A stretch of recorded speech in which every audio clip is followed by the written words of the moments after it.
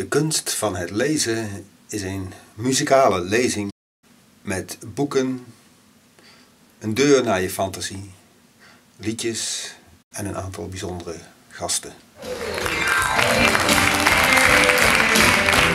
Het thema van onze voorstelling is eigenlijk een boek is een deur. En de sleutel van die deur is de kunst van het lezen. In deze voorstelling lees ik voor uit mijn boeken van Dolfje Weerwolfje, De Griezelbus, Nooit de buren bijten, Fuchsia de mini-heks. En we spelen liedjes die allemaal met de boeken te maken hebben.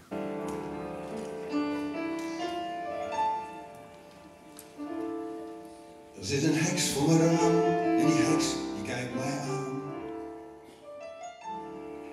En ze wil naar binnen.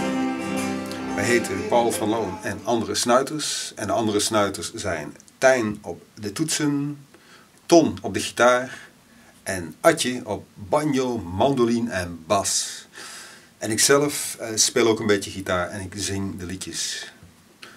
Als we geluk hebben komt Dolfje Weerwolfje ook langs en Opa Weerwolf. En het allerleukste vinden wij als aan het einde de hele zaal op zijn kop staat en iedereen meedoet en meestampt en meezingt.